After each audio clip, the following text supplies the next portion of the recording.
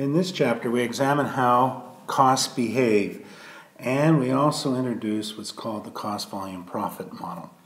Now, the first video in this uh, chapter deals with the first two learning objectives.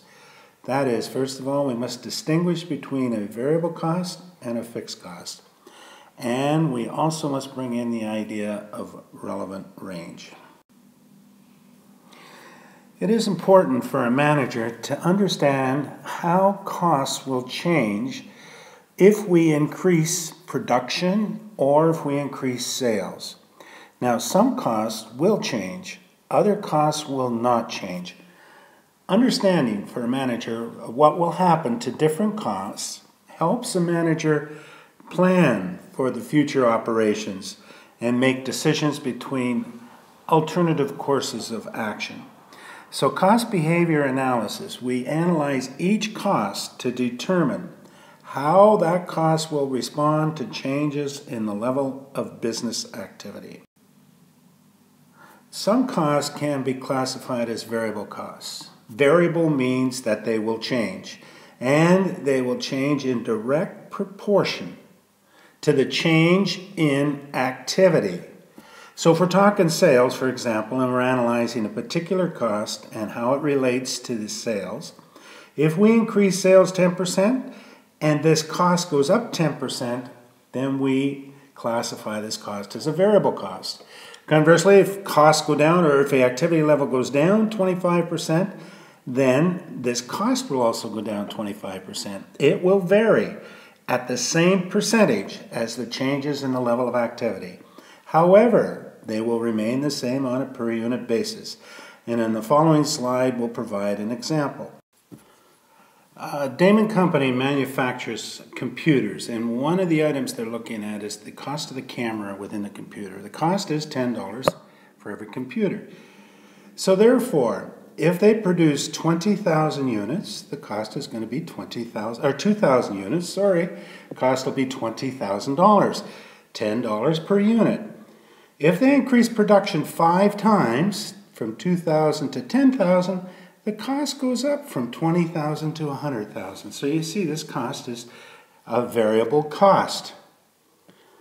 But if you look at it on a unit basis, this is a variable cost per unit now, it still remains $10 per unit. No matter what, how many cameras you produce, it is $10 on a per unit basis. On a graph then, if we're talking total variable costs, then this is the graph. That is, the cost will increase in total, in total, with increases in level of activity. But on a unit basis, it remains the same. So keep that in mind. When we say a variable cost is a, a cost that changes in total, in direct proportion to changes in level activity. Contrast that with a fixed cost. A fixed cost does not change in total with changes in the level of activity. It stays the same. Property taxes, insurance, rent, doesn't matter how much the sales are, the rent is going to be the same. The taxes will be the same, the insurance will be the same.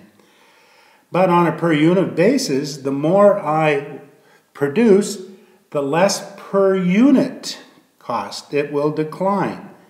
For example, Damon leases a production facilities for 10000 a month.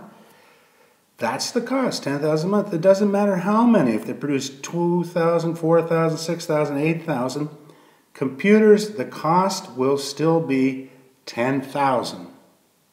But if we unitize the cost, if we say, what is the fixed cost per unit? Well, the more units I produce, uh, the less the cost is per unit. If I produce 2,000 units and my rent is 10,000, then the cost is $5 per unit. But if I produce, I increase the production from 2,000 to 10,000, then the cost goes down to $1 per unit. So you see, as we produce more, the cost comes down. The fixed cost, sorry, per unit comes down. So it's important to understand the difference between fixed and variable, but you must also keep in mind the difference between total fixed and unit fixed, variable fixed, and uh, well, what did I say? Total, never mind. If we were to graph it, then the total fixed costs remain the same, but on a unit basis, it goes down. Now, this uh, idea of relevant range of costs, uh, we're making an assumption here that there is a straight line relationship in a variable cost and a fixed cost, as we did in the graph. But actually, a variable cost will change a little bit because of volume discounts and things of that nature. Um, so we understand that it is curvilinear and if we were to graph it, then, but the total fixed cost, you see the relevant range within a certain level of activity, up to here, the cost will remain the same. But if I go beyond this level of activity, this cost will jump and then remain the same at that level for that period of time or that relevant range. And then it will jump again. So when we talk about fixed and variable costs, we're always assuming that we're within a certain relevant range of activity that we don't go outside of that range. And uh, this, that's known as the relevant range of operations during the year. And that concludes the first video